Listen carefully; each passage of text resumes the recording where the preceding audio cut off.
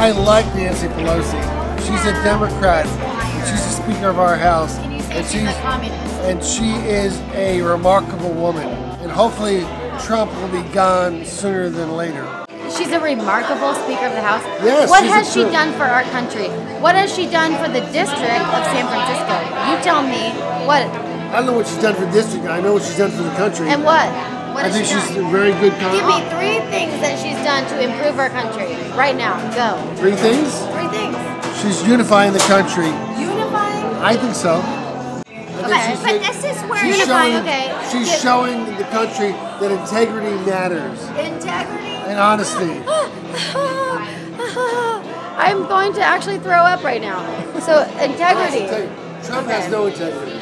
So she wants to have full-blown men like you go to a full-blown women's track team or, you know, weightlifting team or whatever. How could you tolerate a man who has a penis going onto a woman's team at age 25 and then just dominating that team? He's got to cut the penis off first.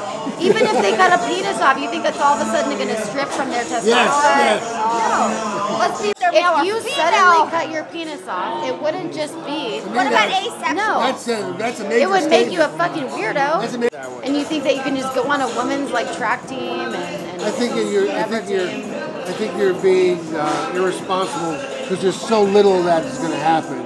Let's just say she worked her whole life to be on the track team and she was going to win a gold medal. And then all of a sudden, some man suddenly showed up No. at age No. 18 No with a fucking way. penis You know and what? won No. the gold medal. No. Wouldn't you be pissed? I Let would be ask you. fucking You would pissed. be pissed. Thank I would you. be Thank fucking you. pissed. That's all I'm asking. And you know what? It doesn't matter whether you're women don't Republican see or that. Democrat. No, you see